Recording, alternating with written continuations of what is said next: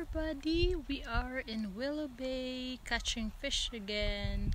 I'm the only one wearing a jacket here, but I don't care, it's so hot. But I'm enjoying it. It's nice here. Oh, you caught again!